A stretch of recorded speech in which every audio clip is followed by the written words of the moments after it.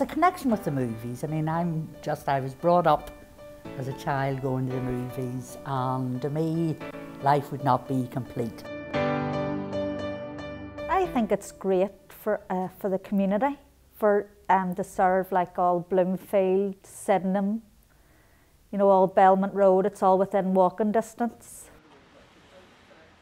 My wife's father, um, he um, took over the Strand uh, whenever it was an empty building.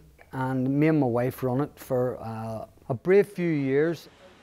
If you're talking about Ballyhackamore, or, if you're talking about anywhere round sort of way East Belfast, um, cinema-wise, uh, would be the Strand Cinema, or you know landmarks, or you know if you're talking about the Belmont Road, if you were saying you you know go up, it's beside the Strand. I've been coming here from I was a wee girl, 1953 to be exact. And to me, it's community. It's our community theatre. I love the staff that work here, they're so accommodating. I love the people that comes in. They're very friendly. And the kids and all are great. Some of them throw popcorn all around the place, but it's all part of the job, isn't it? But I just, I love everybody and I love everything about it. It's become such a, like a steadfast point. It's, it's always been here. It's always endured through, through everything. Um, even long before my time, this is the oldest independent cinema we have, and it's always just been that, that draw for particularly the community around it.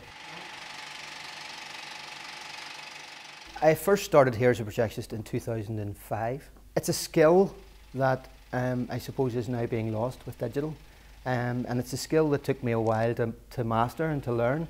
But it's, it's actually, I suppose, over the years of, of history of 35 mil, it's probably not as a delicate a job as it used to be. To have a film run at 35 mil through a projector is just, there's something wonderful about it. There's something lovely about watching something on screen, particularly something that's quite old, even with its little kind of ticks in the corners and, and things like that, and occasional little pops. With this building being here from 1935, I think it's important that we have a, a kind of uh, an anchor to the past.